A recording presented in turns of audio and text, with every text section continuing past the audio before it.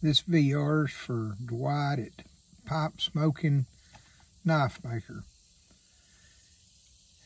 Smoking my moonshine cannonball short fuse with uh, some Sun Bear Tupelo in it. Dwight on the uh, first tobacco that uh, I smoked that I really liked all the way through was probably HH uh, Acadian Perique. It, uh, man, that stuff's good. It's smooth all the way through. You don't get no sour notes or nothing like that. No dottle where it changes the flavor. Uh, what I smoked has got some age to it. the uh, that stuff, it really it's stout though. If you don't watch out, it'll sneak up and get you at the end. Uh, I didn't know it was as stout as it was when I first started smoking it.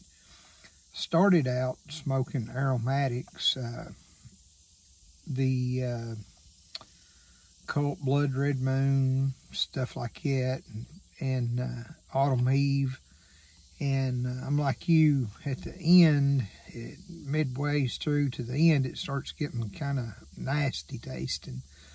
But I tell you a little secret that I found out. If you'll stop about halfway through on those aromatics and stuff like that that's kind of goopy and uh, pull your pipe apart and run you a pipe cleaner through it and clean all that moisture out, it really changed the flavor of it. It straightens it back up and it's like it was at the beginning.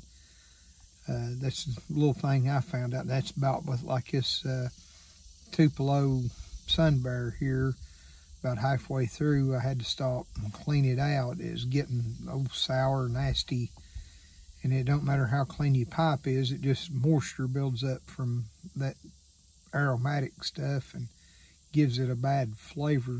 Clean all that out, dry it all out, and it's a good dry smoke the rest of the way through and really cleans the flavor back up to the original.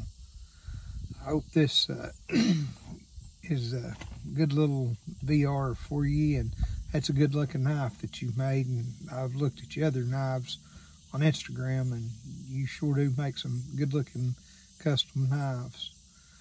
Well, we'll get, catch you all later and uh, y'all have a good day.